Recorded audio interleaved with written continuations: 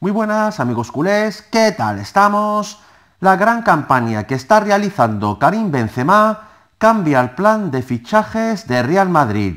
Ha dado un paso al frente claramente sin Cristiano Ronaldo y la idea de la directiva ahora es no fichar otro 9, sino que Hazard y Pogba aporten los tantos que faltan. Y si añadimos a esto el precio tan elevado que pide ahora el dueño del Eintracht alemán por Luka Jovic, que está rondando los 85 millones de euros, pues la situación se ha puesto en bandeja para el Barcelona, que según un medio alemán de prestigio va a tirar la casa por la ventana por Luka Jovic y va a llegar hasta los 80 millones de euros para hacerse con los servicios del delantero serbio-bosnio más deseado por los grandes clubes europeos.